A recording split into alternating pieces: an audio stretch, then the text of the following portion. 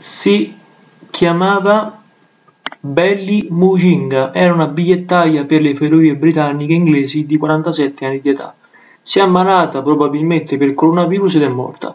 La storia ha fatto il giro del mondo, un passeggero ha tossito addosso a questa donna, ha sputato, dicendo di essere malato di coronavirus, la donna si è ammalata e è morta, Belli era al lavoro con un collega della Victoria Station di Londra, quando entrambi sono stati chiesti dall'uomo. Dopo giorni le due donne sono ammalate di coronavirus, la donna 47enne già soffriva a livello respiratorio, è morta il 5 aprile 2020 dopo essere stata ricoverata in terapia intensiva.